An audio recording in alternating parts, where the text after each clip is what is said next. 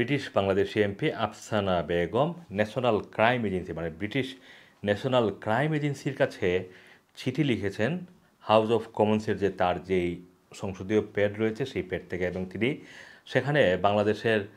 সাবেক প্রধানমন্ত্রী শেখ হাসিনা সরকারের যে দুর্নীতি, সেই দুর্নীতিতে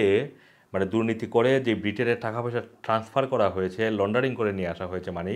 সেই মানি লন্ডারিংয়ের সুষ্ঠু তদন্ত দাবি করেছেন এবং তিনি বিশেষ করে পার্টিকুলারলি দাবি করেছেন সাবেক ভূমিমন্ত্রী সাইফুজ্জামান চৌধুরী জাভেদ, যার বিষয়ে আল জাজিরা সম্প্রতি একটি ডকুমেন্টারি প্রকাশ করেছে তার দুর্নীতির বিষয়ে এবং তিনি, তারা প্রশ্ন তুলেছে যে তিনি ব্রিটেনে বিপুল পরিমাণ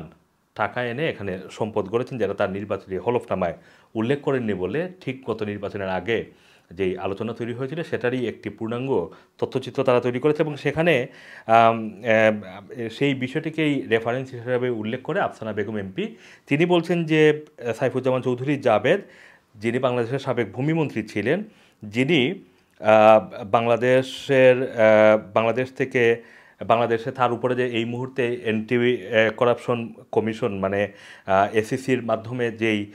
তদন্ত এই মুহূর্তে চলছে, এবং তিনি বলছেন যে সাইবুজ্জামান চৌধুরী জাবেদ ব্রিটেনে প্রায় দেড়শো মিলিয়ন পাউন্ডের প্রপার্টি ক্রয় করেছেন, যার এবং প্রায় দুইশো আশিটি প্রপার্টির কথা তিনি উল্লেখ করেছেন, এবং পার্টিকুলারলি তিনি বলছেন যে সাইফুজ্জামান চৌধুরী জাবেদ একাত্তরটি প্রপার্টি কিনেছে শুধুমাত্র আফসানা বেগমের যেই কনস্টিটিউশন সেই পপলার এবং লাইম হাউসের ভিতরেই। এবং এই টাকাগুলো কীভাবে এসেছে ব্রিটেনে, সেই বিষয়ে তিনি ব্রিটেনের যে ন্যাশনাল ক্রাইম এজেন্সি সেটার ডিরেক্টর জেনারেল গ্রিম বিগারের কাছে একটি চিঠি লিখে সেই, সেটা সুষ্ঠু তদন্ত দাবি করেছেন এবং তিনি বলছেন যে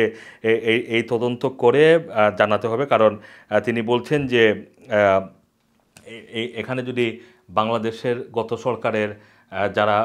অনেক, অনেকের যে সম্পদ ব্রিটেনে রয়েছে বলে অভিযোগ রয়েছে, সেই বিষয়ে তদন্ত করে তাদের সম্পদ বাজেয়াপ্ত করারও মানে ফ্রিজিং করার কথা তিনি বলছেন। এবং তিনি বলছেন যে এটি একটি সুষ্ঠু তদন্ত করে দেখা উচিত যে এই টাকাগুলো কী উপায়ে ব্রিটেনে এসেছে। আফসানা বেগম এমপি, আপনারা জানেন যে তিনি এই গত সরকারের যে পট পরিবর্তন যখন হয় বিশেষ করে ষোলো জুলাইয়ের পরে বাংলাদেশে যে গণহত্যা হয়েছিল, সেই গণহত্যার বিরুদ্ধে প্রথম ব্রিটিশ বাংলাদেশি এমপি যিনি কথা বলেছেন, স্পষ্টভাবে পার্লামেন্টে মোশন এনেছিলেন এবং তিনি সরব ছিলেন। এবং পরবর্তীতে বেশ কয়েকবার আমরা দেখেছি যে বিভিন্নভাবে তিনি বিবৃতি দিতে ঠিক এই মুহূর্তে এসে সাইফুজ্জামান চৌধুরী জাভেদ যিনি অভিযোগ করতেন আফসানা বেগম, একেবারে আল জাজিরার এবং যেই ফাইন্যান্সিয়াল টাইমসের রিপোর্টের রেফারেন্সও তিনি দিয়েছেন এবং সেখানে তিনি দাবি করছেন যে এই সাইফুজ্জামান চৌধুরী জাবেদের একাত্তরটি প্রপার্টি শুধুমাত্র পপলার এবং লাইম হাউস এলাকার ভিতরেই রয়েছে, যে এলাকার এমপি হিসেবে বর্তমানে পার্লামেন্টে রয়েছেন আফসানা বেগম এমপি এবং তিনি ডিরেক্টর জেনারেলের কাছে। তিনি খুব তাড়াতাড়ি ন্যাশনাল ক্রাইম এজেন্সি কী করছে, কী অ্যাকশন নিচ্ছে, সেই বিষয়ে তিনি জানতে চেয়েছেন। Assam Masum Rana TV, London.